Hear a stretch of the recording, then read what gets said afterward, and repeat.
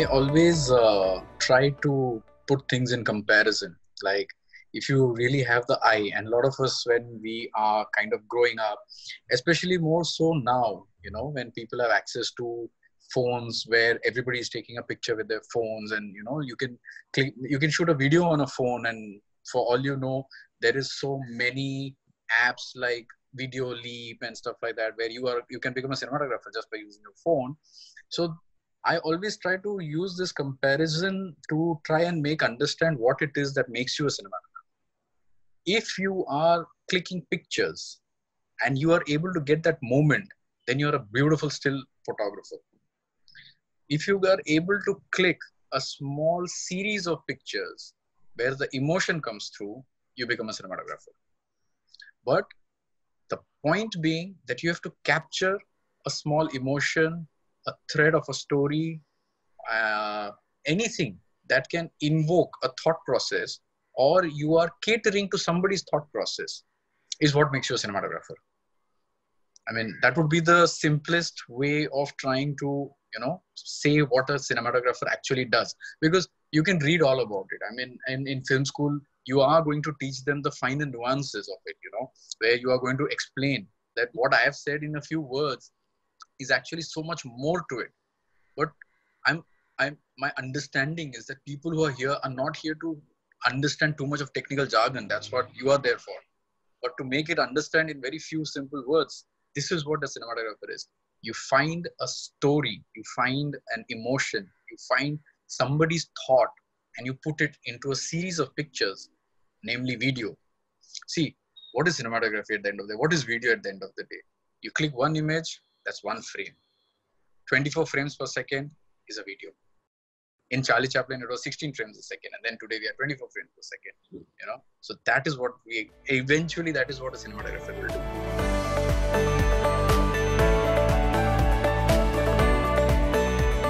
Absolutely. See, I mean, our target audience, let me put an, again, a simple example.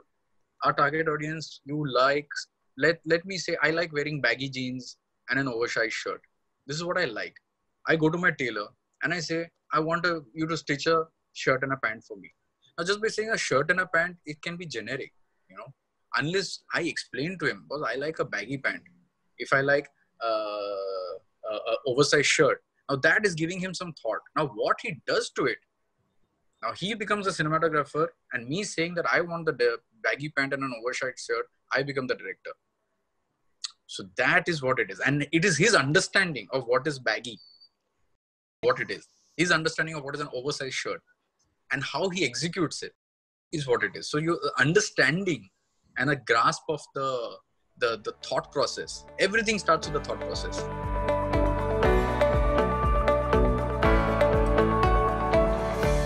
I've not been fortunate enough to be in the era of uh, um, Mr. Wilson, A.K. Bir, you know, they were the stalwarts of Hindi black and white cinema. Now, when they were stalwarts, there's one thing that is common to all of them.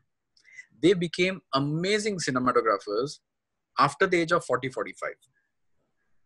And do you know why? The reason is it took them 20 years as an assistant as an apprentice to learn what it is, to understand what Bir Saab is doing, to even understand what an exposure is, to understand what is the role of this lens. He didn't know any of this because he just landed up on a film set. That's how it was like many years ago. There were no film schools to teach you what you're learning today. And to learn and to be in that environment and to understand. See, when I'm on working mode now, nobody has the time to say, "Ha, Baba, come here. This is the lens. This is what a wide lens does." Because we are catering to a producer who's saying eight hours, you have to finish it. So nobody's going to teach you. So it takes you that much more time to really understand what is happening on set and before you learn it. Today, the average age of a cinematographer has probably come down to 24. You know, you'll pass out at 21, you'll do maybe one, two years of being an assistant just to get the hang of it. But 23, 24, you're a cinematographer. Without Cinematography Institute, you can go back to the age of dinosaurs and come and become a cameraman at 45 so i think film schools are very important in making understand the very basics. So when you go on set if somebody comes on my set a film student comes on my set and i say okay get me the 50 lens.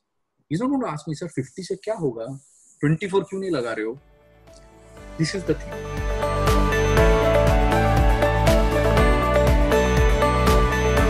Cinematography is probably one of the youngest art forms. Today people would kind of uh, agree to call it an art form because you know i always considered myself say i'll tell you my sister is amazingly good at painting with the colors okay? And between my sister and me i can't even draw a straight line. But what i'm good at is i'm good at visualizing where a light should be. So what somebody once rightly called it it's painting with light. So in its own way it's come into an art form today cinematography is an art form today. But art form which was not recognized and hence there is such a late growth of film schools everywhere. It's only i think in the last two decades that the film schools have started coming into force on their own you know. Otherwise there was only the one ftii which was done by government so many years ago. And the, the before that music schools art schools trinity college berklee music they've been around for so many years it's the same thing.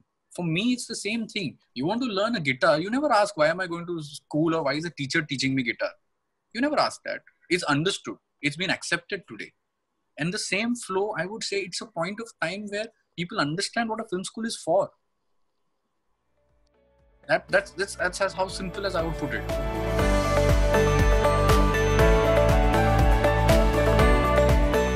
The, the ability to see for example the very example that i gave you a baggy pant or a straight line or any of these things uh, these are something that i've understood the, the, the question where it's coming from and i put a visual to it. That is cinematography. To understand what your director is trying to say and how best you execute it. So to the, the power of grasping and being able to quickly come up with a solution on a real film set at the same time satisfying your craft. You know you want to put a red light today you better make sure you put a red light today. But it should suit the director it should suit the story. So it is all of those things that go there are so many things. It's like the art of fine cooking for all i know you know. You got to have all the ingredients you get to get everything together and then i mean i can give can, uh, uh, onions tomato potato to everybody but the amount of onion and potato and tomato you use a very experienced master chef might use two of each pieces three from that and four from this and an unexperienced cook might put all together and I hope that this is the best. That is experience.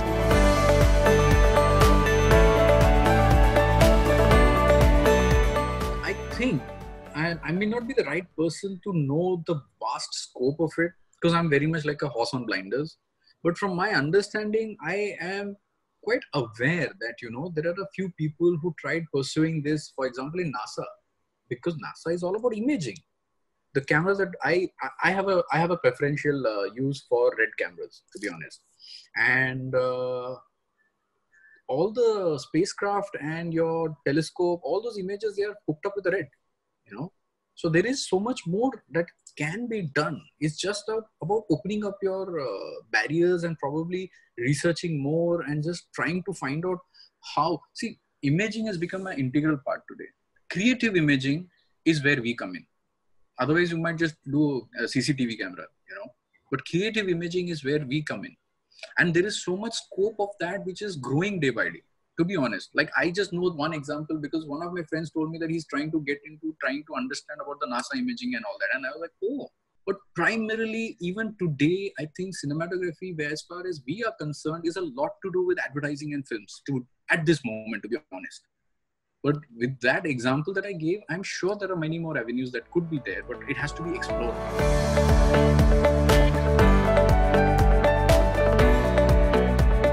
Cinematography is not rocket science. I always call cinematography to be to be putting very bluntly. I call cinematography as uh, common sense. For example, like I'm trying to see in my own experience what have I done. I would say I was shooting in Goa. I had Mr. Salman Khan and uh, you know they will not be able to give you one more take and they won't give you too much time and uh, it was 4.30 and the sun was coming down and the director asked for another shot.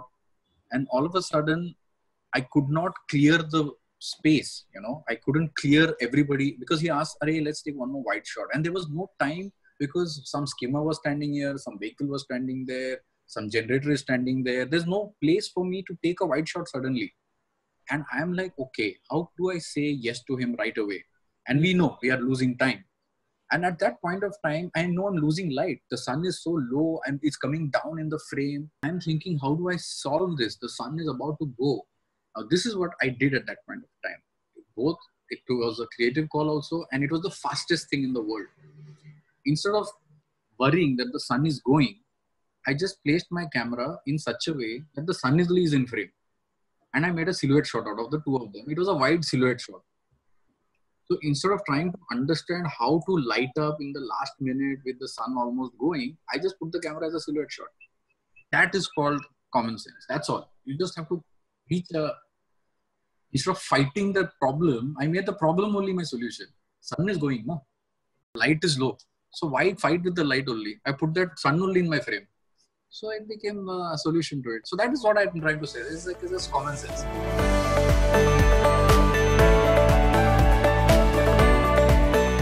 Have survived this industry with that one simple line. Never ever fight a problem. Always make the problem a part of your solution. This has been my mantra since i started being a cameraman. Never fight a problem. Embrace the problem and make it the part of your solution.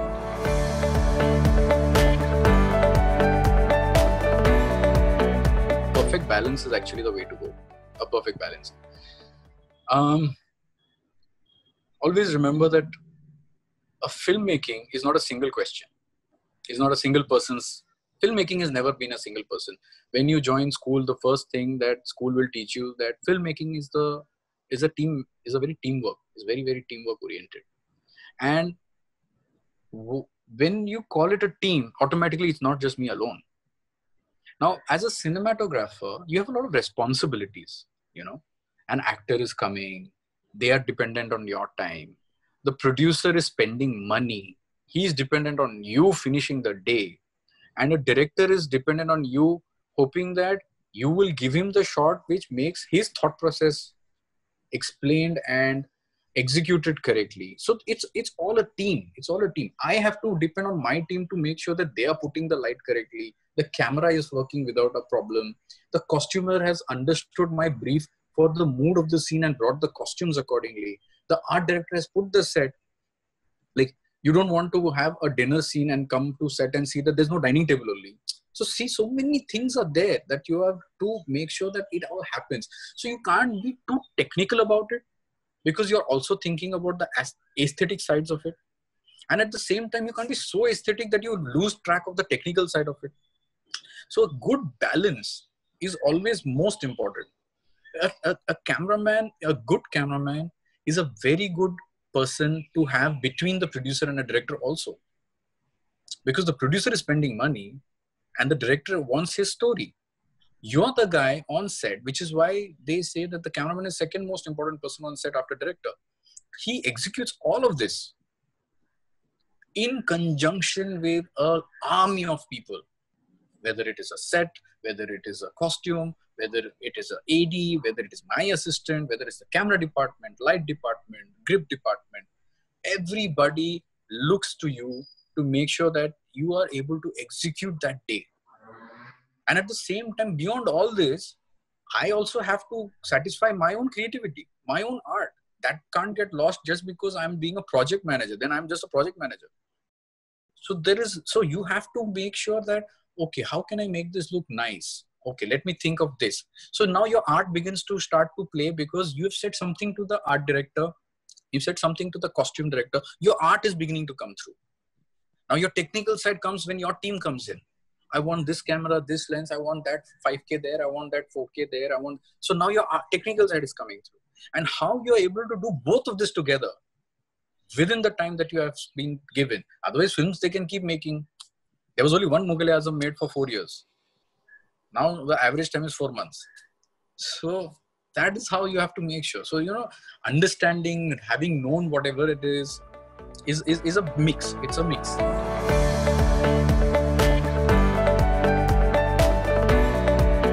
In English, there's one simple word to uh, to classify what you just asked. It's called mistake.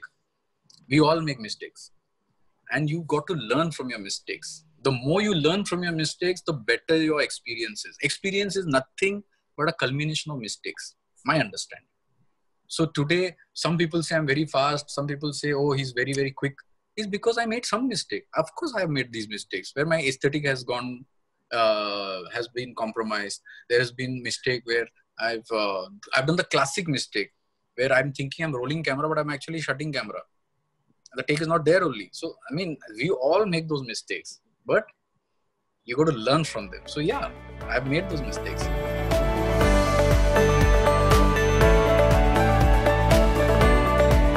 I observe a lot. I observe. I mean, right now, if you were to ask me to observe, I'm observing the way the light is falling on my face. I observe the way the light is going across my face. This part is dark. This part is overexposed. I keep observing. My observation has never stopped. That's one thing probably that keeps me constantly learning. And I realized this long back that it was always beautiful. And not only me, I mean, everybody knows that overcast days are very beautiful, you know. And I, I try to see, okay, apart from the obvious that there is no sun, how is it so beautiful?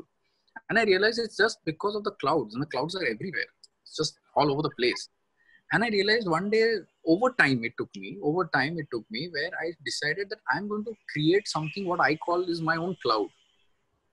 And I started doing that. And I realized that it's beautiful. Actors love their faces. And the other added advantage that came with it was my speed. Now, if I were to use normal lighting, we all, once you start getting into film school, you'll know that, you know, and because you're a third year student, you'll know that, you know, you always light for one particular mark properly, you know, it leads up to that mark. It will be like exposure will be five, six there, but five steps back, it will exposure will be four, another five steps back, it will be two, eight and two, and it will go into darkness. And then while acting, you can't really restrict your actor because he may never stop on that mark. So you set an exposure for five, six, but he's standing where the light is four. And your director says, boss, I, he acted very well. I don't want to do one more, but you will be like, but technically it's not correct. So I realized that I bypassed that problem when I figured out my own uh, wraparound. My wraparound is within four, five to five, six everywhere for 10 steps. And I realized actors love it. They are not restricted at all. So i decided that whenever i am in a very crunch time where uh, okay in the next two hours we have to finish this i decided that i'll start improving on my wraparound light source. I started improving improving improving till i think at a point i reached where like in with my eyes shut i can do that wraparound uh, lighting. And uh, actors liked it because they were going home in three hours on an ad shoot instead of spending eight hours on an ad shoot so that is how I it, it, it came through. So I just observed clouds and I decided one day that I'm going to recreate a cloud in my own uh, studio.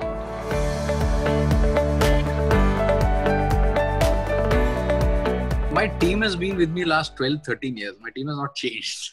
So as I grew, my team grew, you know. So they they they so when when when when, when any day, sir, you know it more, but for the benefit of people who are not yet uh, part of the process, there is always a call time you know. Nine o'clock work starts but before nine o'clock people start coming to set. That's called a that's called the call time.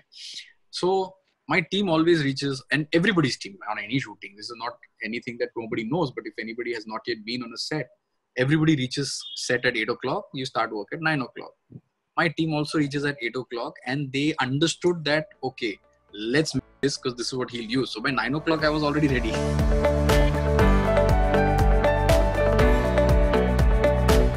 The discipline is definitely observational quality you'll keep observing. Whether you watch movies whether you watch tv serial whether you watch live observation is a is should be never ending my opinion. See at the end of the day once you leave film school film school will teach you how to be there how to take care what is an exposure what is everything. Film school will bring you till the doorstep. But they say in english they say you can bring a horse to the well but you can't bring the well to the horse. So that is the job of the film school is to bring the horse to the well you know. After that every student will it's in your own interest that you learn from your film school that you observe from your film school you know. And i mean i've i've, I've had experiences in the past where you know uh, students in the third year think that they they are better than godard and truffaut. You know they'll always say what is this cameraman ah, i don't like his lighting. But you don't know the number of processes that have gone behind it. So unless you observe it unless you've lived it you know i mean even till today if i see a movie i my discipline is such that i wait till the end credits. If you are a film student you should probably sit till the last card comes which says thank you to dolby digital or dolby or this was shot on panavision. You should sit through that because you are part of 200 people who stood on that set and made a film happen. The day you do that you will understand how much hard work goes in there. And it's just a simple mark of respect as opposed to saying ah what godard did in his time useless fellow. No in his time he did what he did. In our time maniratnam did what he did today raju hirani is doing what he's doing. But you may not agree with them that is your subjectivity.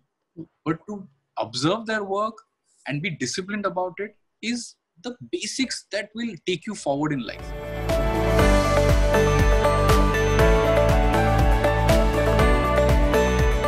Probably not today but probably at least 10 years back i could still remove a lens and put it back together. As a cameraman in india you don't need to thread your own film like when we used to shoot on film at least. Like it's been uh, 2012 i think i shot the last time on a film camera. But uh, before that as a cameraman you don't need to know how to open the 435 ka sprocket and put it in or ARRI 3 has no sprocket and you have to put a sprocket. You don't need to know all that because you have people who do that for you. But it was my own understanding like you know let me try it. I want to i want to change the film in the changing bag. I want to do it and see it you know. I want to change the lens and see it so I, it, it's that never-ending quest that will that that for me started in my film school. When I was in film school in 96, 97, I remember I was sitting and reading something called the Focal Press. There's a series of books by the Focal Press. Mm-hmm. They I don't know if they're still in uh, print or not, but I used to sit and read them. That was my way of absorbing what my that, that institute had whatever old books. And i sat and read all of them. Didn't matter to me. I think it's it laid the foundation of what i do today or whatever my thought process is. It laid the foundation. See i never i never i, I never woke up from uh, college saying that i'm now a cinematographer. No i didn't. But it's what film school put into me for three years. It's what film school taught you. It's what film school tried to mold you your clay. It's the best example i would put. Film school is where you go like wet clay. Then they try to make something out of you. A direction professor will try to make a small clay mold. You know how we make vases? The directing professor will teach you how to be a director. The cinematography professor will teach you how to be a cinematographer. The editing professor will teach you how to be an editor. And it's up to you whether you end up baking yourself and hardening that mold or you decide whether you want to go some other way that you can't do. Mr raman can make the vase beautifully and hand it out at the end of the third year. Now whether you went into the oven is not in mr raman's hand. So it's how you use the institute in those three years two years one year how many other years you're there is what is the best way i would say that a film school is there for.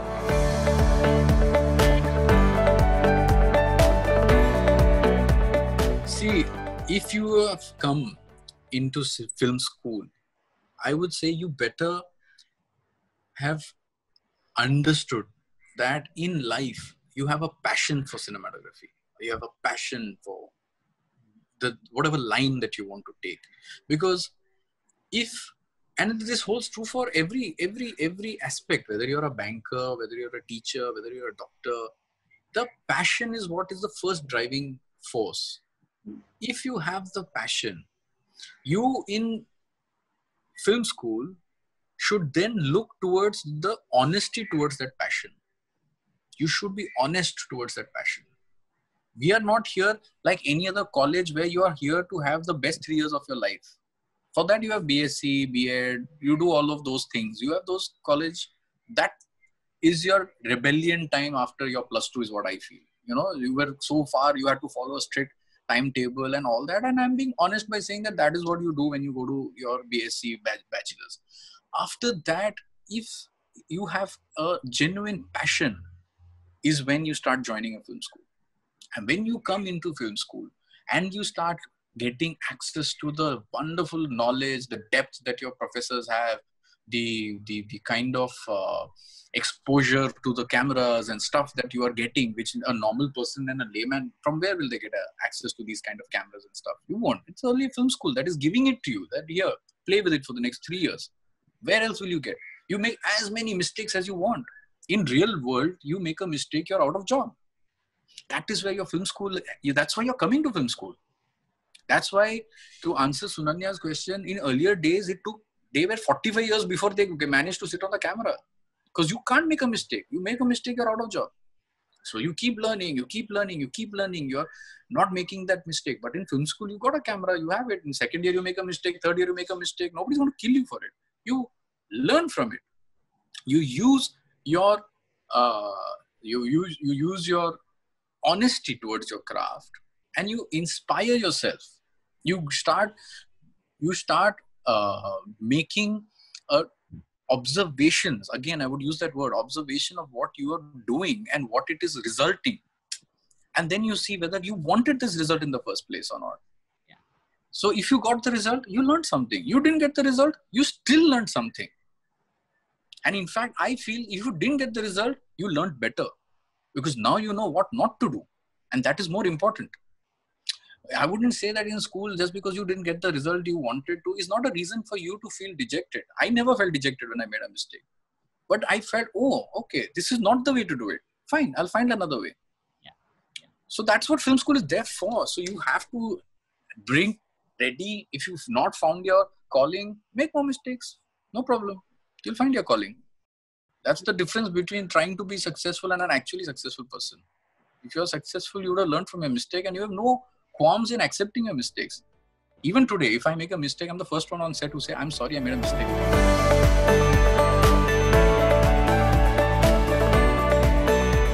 There's no easy way of saying this, but I think that holds true for most professions. That holds true for most professions. I mean, Madam Anuradha is not into cinema, but I'm sure she has her own share of stress to run the institute, deal with the finances. Mr. Raman sir has his own stress. So no stress no uh, mental uh, is is i think there in every line. Just that in cinematography if you are passionate you came to be a cameraman because you're passionate to be a cameraman. And if that is your calling and if you're honest towards your craft you will already be ready to handle all these things. If you're not ready to handle all these things you should have not come here in the first place. I have no other easy way of putting it. You know so if you were not cut out for being a cinematographer, if you think, oh, I'll just shoot from nine to five at six o'clock, I'll have a beer, you're not cut out for this line at all. You have to be there on the ball because we are all answerable and we are all working as a team to finish something. And you chose to be a cameraman because you honestly wanted to be a cameraman, because you have the passion to be a cameraman. And if you had the passion and honesty, when you are on set, you will understand the stress is not aimed at you. So you can't take it personally. Nobody's aiming a stress at you. You will, if you are honest to your craft, if you're honest to the film that you just started to work, you will realize that this problem is way bigger than us. And we are just a small cogwheel amongst many other machinery parts to try and make it happen. So you will happily do it. A good team member is somebody who and that's why I, like i said before filmmaking is a very team team process. You better be part of the team because if you're not part of the team you are everybody's going to suffer. So you will happily take the stress. Like when i have the stress like i said light is going hansa has to go. I'm not worried. I'm not saying Array, what is this yeah no. I said okay let's do something about it. That is the attitude to have. Always trying to be a part of the team is the right attitude. Then it is not stress. You understand that there are certain factors beyond my hands. And you will try to do the best to make it happen. And when you do that, if you fail that day, nobody's going to say, Arey, yaar, what is this? Yeah, you was slow. No, they will see. We are humans. We have a higher intellect capacity. People will see that you tried to do for the betterment of the film. At that time, I didn't worry much about my lighting. Like you said, there are days you've let go of your aesthetics. Yes, I've let go of my aesthetics. Why? Because I want to finish the day the producer understands it, the director understands it, even the actor understands it, and they appreciate it. and some other day there might be a feedback there might be something that happens they'll just come back they'll just give it. Like you never know what it is but they understand it. Nobody is not blind and especially when you're a cinematographer on set all eyes are always on you. So people do see the effort that you're taking. So it, it's, it's all part of the process there are days when the stress will be too high. There are days when physically you'll be exhausted. But if you're exhausted remember there are 200 other people who are lifting those heavy lights. They are also exhausted. You you you can't have so much ego that you're not looking at others. When i work i have a team like i said that's been with me for 12 years. The team wouldn't stay with me if i'm such a hard taskmaster. The fact that my team has stayed with me is a thing that you are a team player. So then everything falls into place and everything else follows there everything else follows i'm telling you when I was not a DOP, I used to ask some of my friends at that time would become a DOP, yeah, how to become a DOP? How did you become a DOP? And they said it's a process. It will just happen. One fine day, it will just happen. And I said, any line you're saying was just because you became a DOP, one day it will happen means what? How, how do I take that as an inspiration? But that is true. One fine day, somebody will notice you. And somebody will say, listen, hey, boss, listen, I know you are a good assistant. Do you want to shoot something? It will happen. He noticed I was a good assistant because I never slacked my passion was always there. Somebody will notice you and it will come.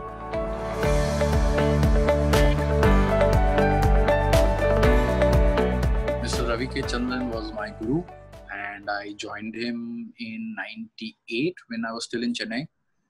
And we'd done these uh, Tamil films called Kandukonde and Kandukonde, uh, Kannathil Muthamittal, Citizen. Am probably I'm losing some names here, but I, I joined in there. And I just had an advantage that I could speak Hindi. And uh, Ravi K. Was getting very famous to start shooting a lot of Hindi films. So he said, Boss, you know Hindi, you go and sit in Bombay. Whenever I come to Bombay, you, you start shooting there. I said, okay. So he got me to Bombay and I was here and I used to coordinate for him, you know while he was still shooting something here and let's say tomorrow he's coming here. So my job was to coordinate with the production like get like the teamwork is always there whether you're an assistant or whether you're a thing you're just doing it on behalf of the dop so for me that became a very advantageous process where i was doing all the all the coordination and learning on the job. That's what happened for me. So I started doing slowly, slowly. I had to coordinate with the light boy, then I started coordinating with the assistant director, then I started coordinating with the art director, and over time you started understanding the process more more and more. And it soon reached a stage where the cameraman was so comfortable with my aesthetics also. See this is just like the part of coordination is probably more clerical if i may call it. But the aesthetic side was that he's coming tomorrow morning 9 o'clock 7 o'clock. Like i said you reach earlier than others right so when I was an assistant, I used to reach at seven o'clock along with the lights, and I used to do some basic lighting setup, like what my team today does for me. I used to do for him. And over time, it reached such a stage that he would just come and he'd sit directly on the camera, and not a single light was changed. It would be exactly the lighting that I had done. Like even today, there are many songs in Hindi films that has been untouched by Ravi, Ravi sir. So that is when you realize, okay, now you're learning and your path and your process is going in the right way you know? And that's how you realize that you're learning correctly. So after a point of time you start to say okay i can probably become a cameraman next. So the journey is always that of self learning self introspection observation never changes etc etc etc i think this was post black and uh, around about that time, Ravi sir was a very good uh, DOP. He used to take very good care of us. And I, one fine day, realized that he's taking such good care of me that I don't need to go out and work anymore.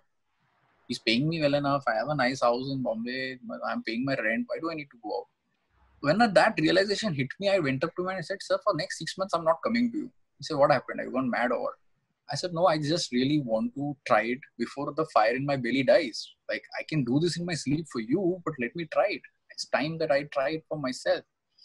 And for five, six months, I got no job. Okay, let me tell you that. It's not easy. I got no job at that time, matlab, it was very, very difficult. But it just so happened that in television, there was somebody, one guy, who was looking to shoot. In those days, there used to be a lot of these promo shoots. Okay, these television promos used to happen a lot. And he was a guy who probably seen me shoot, and maybe it was just luck. It was just timing. He called everybody. Nobody was probably free, and he said, "Okay, let's just try somebody new, some cameraman's assistant. Let's try." And he thought of me. Like I said, he said, "Are he was a very good worker on set. He was sincere. Let's see, maybe he'll shoot it." And he called me and he said, Listen, I have a very small TV promo. We can't afford somebody like Ravi K. Chandran, but would you think that you can shoot it for us? And I jumped at that opportunity. I said, Yes, of course I can do that. I'm waiting to do something on my own. And that's how I went. And he said, Listen, it's not even on film. See, in those days, it was a big deal. Not shooting on film. Like, if you are big, you shoot on film. If you are not big, you shoot on video. Okay. So that has gone out of the window. But he said, I'm just shooting on uh, Digibeta. Said, Array, Digibeta is like huge. That's no problem. At least I was, I, when he said I'm not shooting on film, I was expecting to hear low band, high band. Now, these are things that later kids will learn in film school. I was expecting to hear low band. And I was even okay to, I was going to argue, ki, let me shoot high band. But when he said Digibeta, I thought, boss, I've reached Oscars. So I said, of course, I'll shoot uh, Digibeta. And I went ahead and I shot it. And it so happened that it was at that time there was a TV serial called Jassi Jaisi Koi Nahi. And apparently it was a very huge uh, TV serial. And I got the song where from her ugly avatar, she was being made into the beautiful avatar. And I got that song. And for the first time, there was a song in a TV serial. And it's always measured by TRPs. And that song, TRPs, went through the roof. That people in Sony TV asked, Who shot this? It doesn't look like our TV serial. It looks way better than our TV serial. Who shot this? And I started to get more calls just to shoot TV promos. And that's how my life started. For next two years, TV promos fed me. And I did whatever experimentation I wanted on TV promos and learned more from that. Because the TV promos shelf is shelf life is very small. So I decided they will show it by Monday when the TV episode airs. The promo is dead. So in one week, whatever they have to prepare, they'll air. So for one week, I'll learn anything I want.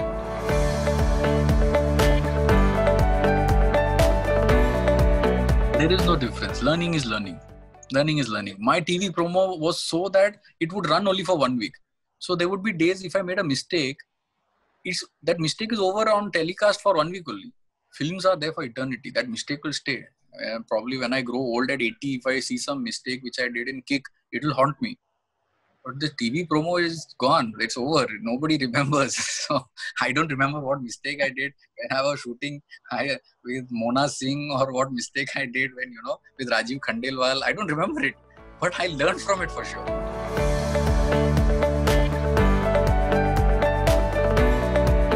See, when you are an assistant, and this goes for any school student who's now passing out and you want to learn a bit more by joining somebody when you're an assistant, the biggest difference between that Dil Chahta Hai time and the time I shot Dostana is responsibility. When you're an assistant, the responsibility is not on your shoulders. It's on the shoulder of whoever the HOD is.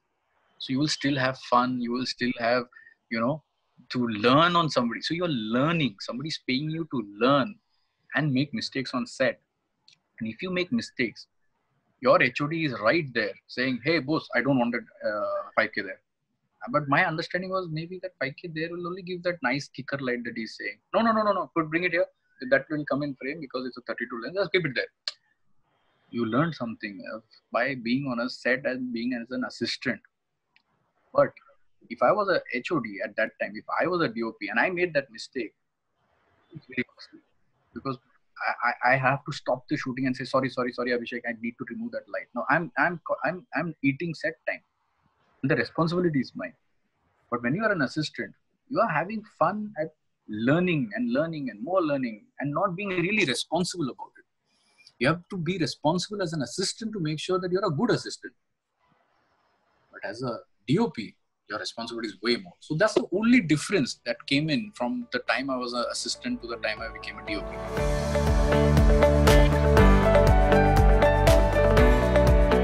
I genuinely, till today, I think one of the biggest learning curves for me is a very, very people found it very boring at its time, you know, and probably it, it is subjective whatever it is. My biggest learning curve came on a film of umrao jan with abhishek and aishwarya. That was my biggest learning curve. It was almost like my first big push into the big world of glamour films and all that. And it just happened. It just happened. Happened by perseverance. That's it. It just happened. And everybody who knows the era of jp dutta and all they know that he was a one man army. He, where he says is the camera, is the camera. Where he says is the light, is the light. Where he says what has to happen, that is where it will happen.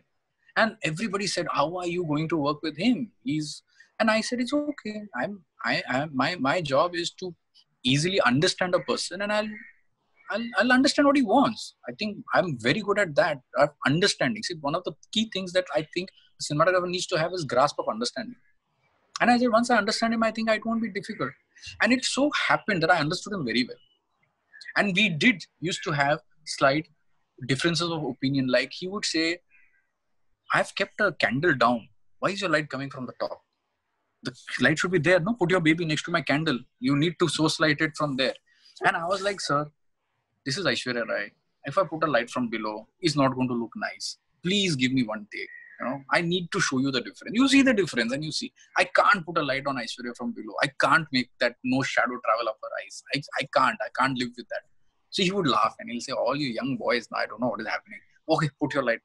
So it was that process between me finding my lighting space. That's where I found my lighting space. Even uh, if you till today, I find my song Salam in Umrao Jan. It's, the song is called Salam is was one of my biggest learning curves because I didn't care where the candle was and I lit it the way I wanted to light it in a real location with no place to light. But I learned so much about framing from JP Saab. With his experience, he used to keep a camera according to the need of the story. And I happily let him frame. I would say, yes, JP Saab, you, you know your story best. There is a lot of Urdu in this.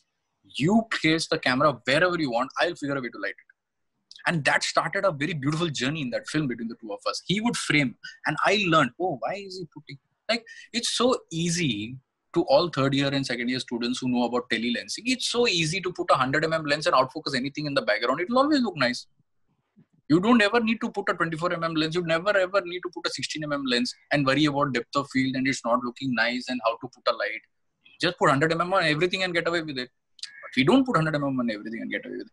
That i learned from jp Saab when that was the mixture of the two of us where i learned framing for a story and i continue to do that.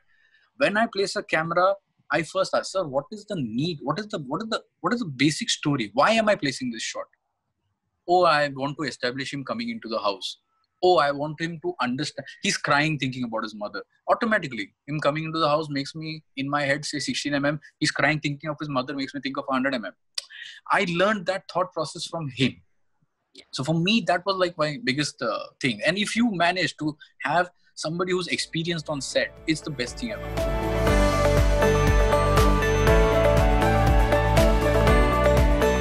blocking and framing would be very very closely related very very closely related directors like to do a rehearsal and you are part of the rehearsal they understand okay this actor after this i can't really make out that the expression is being lost. So let me just show where he's coming in. Okay, here I don't want the expression. I want everybody reacting. So when you are doing a rehearsal, you automatically start understanding in your single instinct that okay, this is where everybody. Let's say, for example, uh, simplest commercial English, uh, Hindi English film, anything. Uh, good guy beats the bad guy, everybody reacts. Now the good guy is beating the bad guy, I want to see him beat it. So automatically the blocking will, in that point of time, the director will only say, I want a nice close. Everybody reacting, you will cut in a Marvel uh, Spider-Man, it cuts to middle of uh, central square. Everybody stops, car stop, everybody is looking. Now that's blocking. It's right there. The close-up of Spider-Man's uh, arm weaving the web is blocking. It's all part of it. So it, it, it is a process that comes automatically. Framing is knowing that you want that Spider-Man ka arm ka close. That in blocking you already know. But do you want to frame it against the road or against the sky in a low angle or a high angle? That's framing. So that's the only simple way of understanding the difference between the two. Blocking, you have to be a part of the director's vision. Framing is your vision.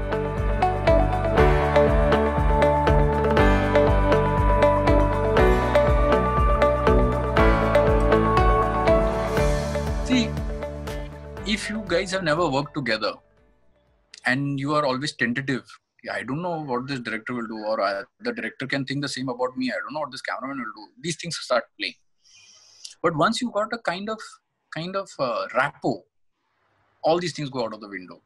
You know when you start thinking the same like for example i have certain advertising friends. In advertising all these things are very important storyboard and all these things. But when we both reach the set together we don't even look at a storyboard. We just start going with the flow of the story. So it is it is again with time that it comes you know. I was uh, i was fortunate enough to speak with mr robert richardson when he had come to hyderabad actually and uh, he gave me a very interesting anecdote so because like i was in awe of him i follow his works a lot like you know and uh, I asked him how was it to work with uh, Martin Scorsese, and uh, he said, "I'll give you an example. Martin Scorsese sent me a script, and I said, "Wow, first time I'm working with Martin. Let me put my notes." He read the script. He said, "I feel this should be like this. The colors should be like this. I want to put a close up here. I want to do all of this." And he sent the script back. He got a call from Martin Scorsese, and Martin said, "I got your script with notes. When can we talk?" He said, right away. He reached Martin's house. And uh, then Mr. Martin Scorsese made Robert Richardson sit and he said, I got a script, but I just want to tell you, I've not read any of your notes because I want everything done exactly the way I want to make it happen. So please don't give me your notes and listen to me. This story shocked me. This is Mr. Robert Richardson after an Oscar award being told by Martin Scorsese I have a vision. I want to follow only my vision. And there's nothing wrong with it because he still went ahead and shot a fabulous film. He looks to me for framing because he just wants to direct the actors. I don't want to know about this thing. Yeah, I just want this. I, hey, I'm missing the blood. Let's go more close for the blood. So that's so you will find people of all sorts, is what I'm trying to say. How you find your path, it is not only here I, for me, it was a revelation because you're talking about Robert Richardson, three-time Oscar winner, with a Martin Scorsese or a Quentin Tarantino. These are not small names, and these I have heard firsthand when I sat down and had a talk with him.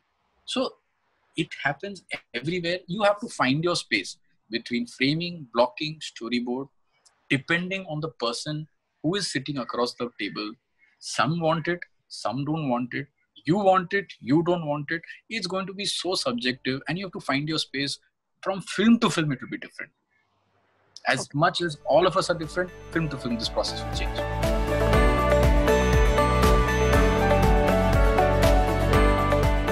i have a family of doctors they wanted me to be a doctor my mother was very sad i just told my mother see listen like i can become a doctor but then i'll be doing what you want and uh, I don't know what I'll become eventually because I don't I don't know what I was going to become. Whether I'll be a light boy also, I don't know. But at least let me try what I want. You know, I said I'm genuinely, honestly, my heart is not in being a doctor, but my heart is probably in trying to figure why I'm clicking some images. I just want to figure that out. So I did have uh, thankful, thankfully for my mother, it all worked out.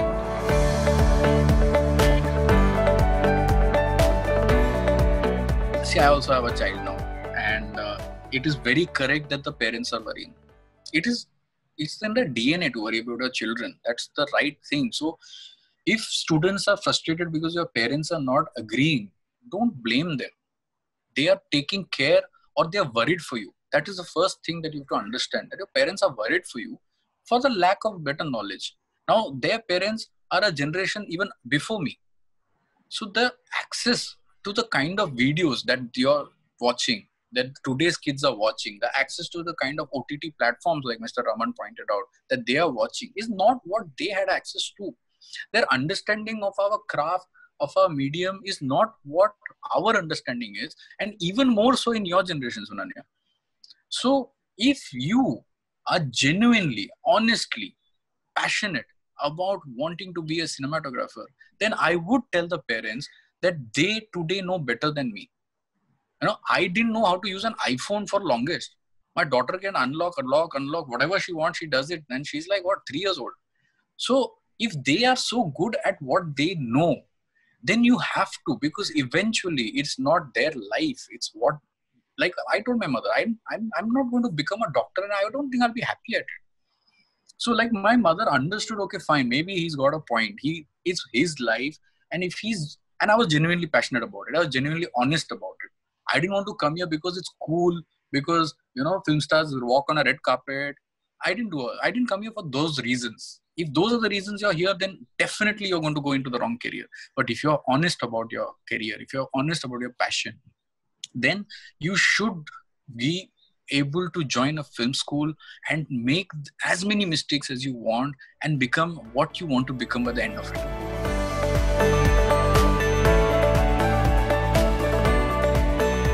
generally speaking, I love shooting in Hyderabad. This is my experience. I've just done two films and I want to do more, but I loved, I loved, I loved shooting in Hyderabad.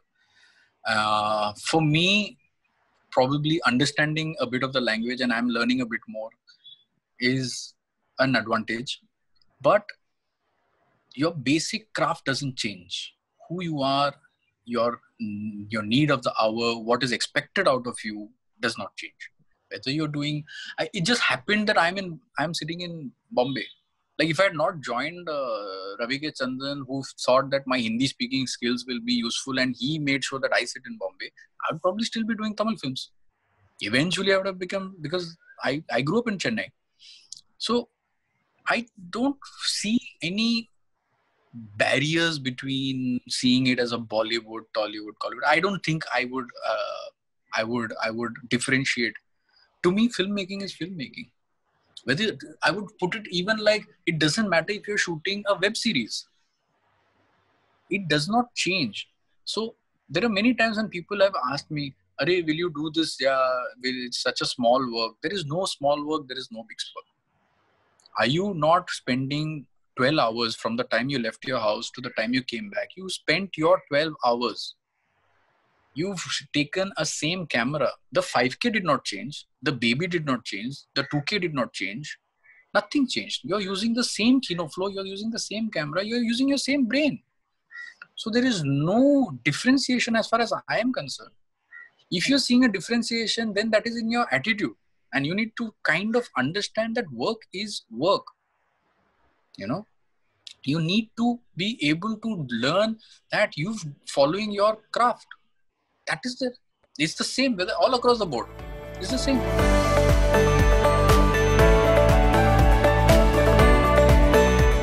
This can be many many many uh, ways of reaching it. Like if some directors they will be like see this is my story and they will always have see i think today when we speak of something there is always a precedent. There is nothing that has not been done. There's always a precedent that is there or there is always a thought that has come from somewhere. Now earlier in my understanding during 80s 90s cameramen used to reference paintings you know. They used to reference uh, uh, documentaries or whatever you call it you know. Then came the era where people would be like hey you know in seven years of tibet you know how brad pitt is praying in that scene? I've got i i got my inspiration from that scene. So there are so many things that when you're talking along with your director in your initial stages and then the team comes in there is so much of back and forth and back and forth of discussions or things. And when a team is like falls into sync now everything will start happening. Sometimes some of my best uh, ideas would come from an art director. It would be like you know why are you guys all thinking about a prayer room? Why don't i just put it on the side of the ghat and a lot of uh, lights so the cameraman also can play with some diyas and he can be praying on the now you were so long thinking about a small dimly lit monastery interior from where he's got his original inspiration of praying to suddenly one guy saying he let's make this at the edge of the staircase where you know there is what do you call that in the in a temple that uh, water body that is there and the, so he suddenly from there he's given an idea to here and you think ah, why not? It works. The story doesn't change the, the the setting of the background temple wall makes it feel like he's still maybe in a meditative space. The cameraman suddenly got some ideas of putting diyas all over the steps. The art director could say hey let me make some nice red cloth and put something in the depth. It is a collaborative process and that's how a color palette will come on its own through the collaborative process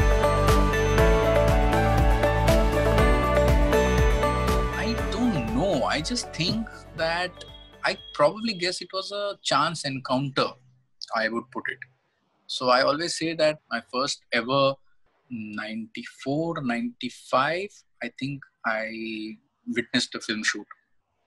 And uh, in that film shoot i was just i was just amazed and intrigued by what is happening you know? Like words came in on a piece of paper which we now fairly call it a script. Mm-hmm. and it came out as visuals. And i was intrigued by this process. I'm like how? How is that happening? And that intrigue is probably what made me come this side. Because i always knew i cannot sit for a 9 to 5 job. In my head i knew i can't do that. So I think that probably started the seed and that cultivated to me being like wherever I am today. And that became a cameraman.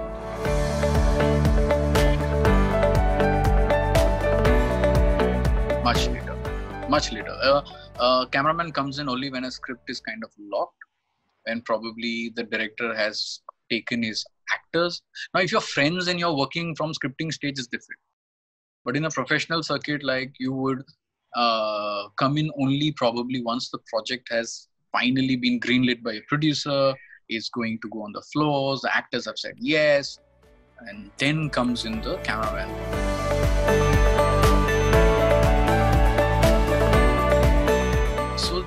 is about scenes you always try to have some kind of uh, cohesiveness it should be there should be a reason for your scenes to look little bit natural maybe you can tweak it according to your personal taste. My personal taste, an actor should always look good. That's my personal taste, and I make sure that you know the actor looks nice, etc., etc. And I make my exterior scene approach also kind of following that. And yet, it should not be jarring. That it takes away from the story. Whereas when you go to song and uh, act and a fight sequence, there is no storyline per se. You know, so there you freak out. Then then i go all guns blazing into what i feel is uh, very glamorous. It doesn't need to have any continuity also.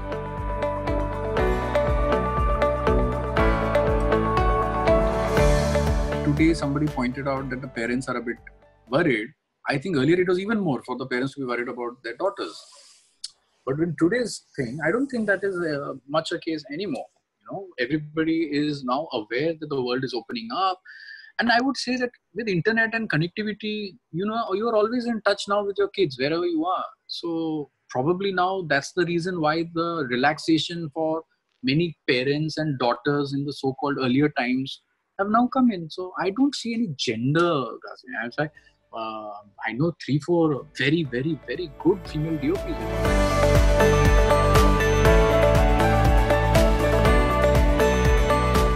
first and foremost be honest to yourself you know. This is the first step towards a very very very long path ahead. The first three four steps are the most important ones. Like i said i made sure that my foundation was very good in film school i used my film school to make my foundation. And that is what they should also be doing you know. It's always fun to go out have fun go party. I'm not saying don't do all of that. But work hard, party harder is not a bad thing to do, but work hard, you know. Don't make it the other way around, is what I would say. So be honest to why you were coming to film school, why you decided to convince your parents that you want to be a filmmaker, why you thought you could be a director, why you think that you're a better cameraman. If, if some of the aspirants or the film school students think that they are better than Santosh Sivan, Ravi Chandran, uh, PC Sriram, sure, you can be. There's no harm in thinking it but that thought should also be followed by actions you study hard you do work harder you be honest and passionate about it i would put it all broadly down to these two words just be honest to your craft just be passionate about it. Everything else will follow. Your inspiration will always be there. Once these two things fall in place everything will fall in place. Whether you're a film school student whether you're going to join a film school even if you become a cameraman these two things i feel are my only two words that i would put out